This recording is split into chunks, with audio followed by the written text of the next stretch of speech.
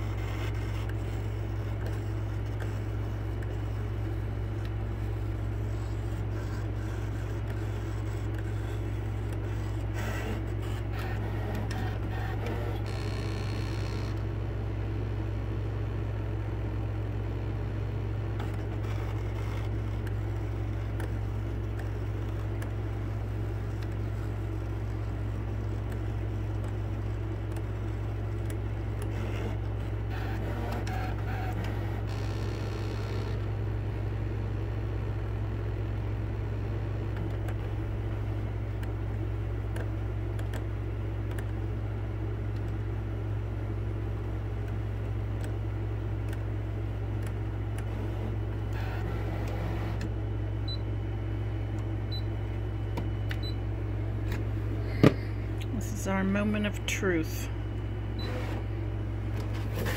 Did my trick work or did it not?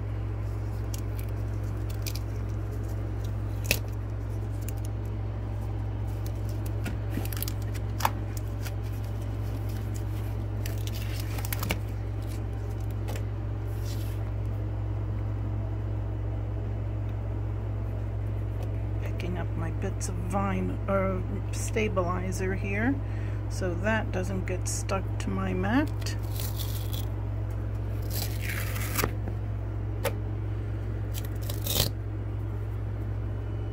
Success.